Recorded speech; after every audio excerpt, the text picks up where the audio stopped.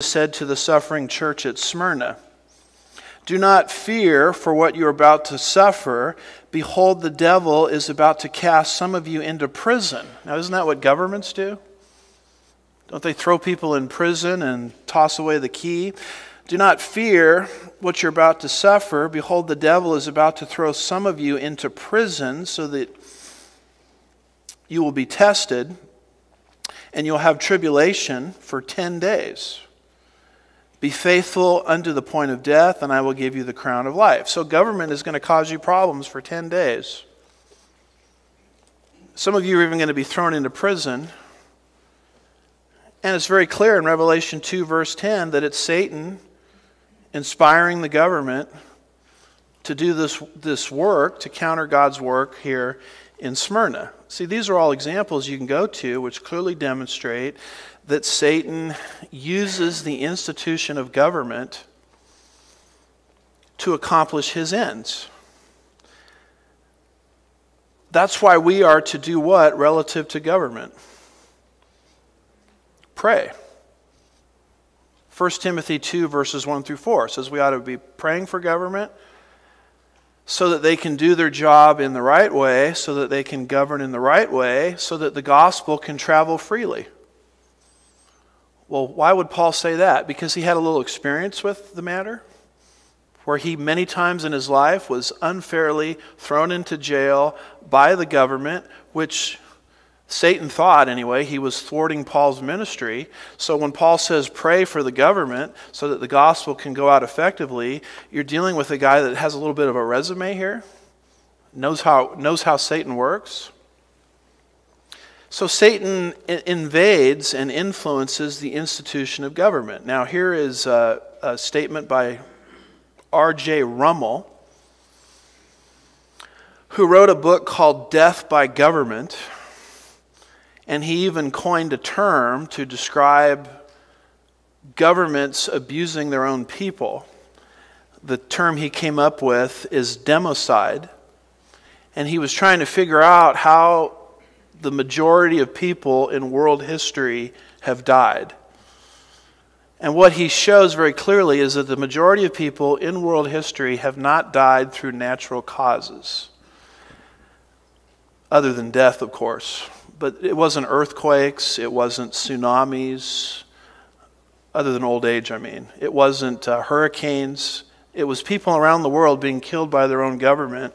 And he tried to come up with a figure and the figure he came up with for the number of people in human history who have been victimized by democide, he came up with the number 262 million people. And we don't even know how big a number is like that. And he says, imagine it this way stack up people from head to toe that are, can only be five feet tall. So that would rule me out. So get a bunch of five feet tall people and stack them from head to toe. And he says the number 262 million would, would circle the globe 10 times. And, and that's the significance of this point that I'm trying to make that Satan influences government. And here we are in the United States of America, where I, as an evangelical Christian, can show up and do something as casting a vote and half of the Christians out there won't even take advantage of the opportunity because they're too busy. You have to understand something that every time you, as a Christian, exercise the right that the founding fathers gave you to vote, you set back the forces of Satan. Because the default mode of human governments in human history is totalitarianism. That's the direction they all go in if left unchecked. Because power corrupts, and absolute power what? Corrupts absolutely. So you start understanding biblical principles and you start exercising them in the polling place, you just throw a monkey wrench into Satan's schemes. See that? And that's the, that's the total tragedy of the statistics I'm aware of are half of the body of Christ is registered to vote, and then only half of that number actually shows up in votes. And we wonder, you know, we sit around wondering, well, gosh, the country's gone to hell in a handbasket.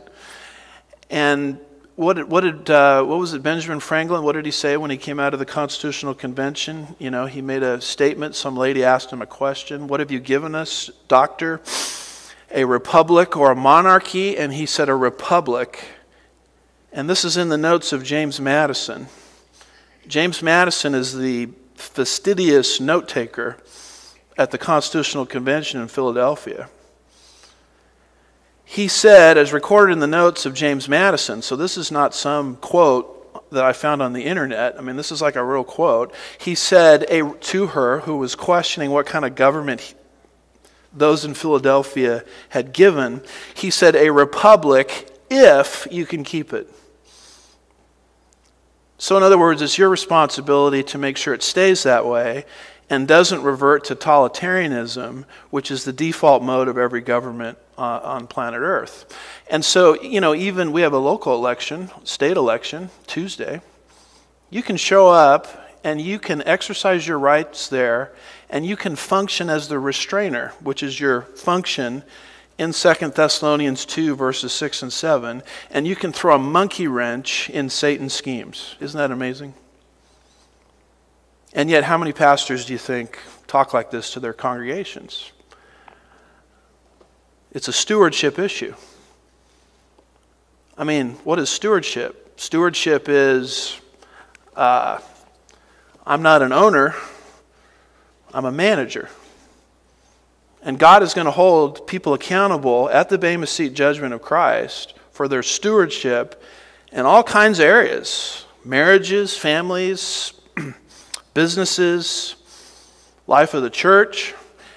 And if you're an American, I can guarantee you, Jesus is going to want to know what you did with this right that you have that very few people in human history have. You know, the people in Saudi Arabia would die for this kind of opportunity. And yet, here we are in the United States, just lethargically going to sleep, apathetic about the whole issue. I, want you to see voting as a Christian calling. Amen. Amen. Well, I better get off that.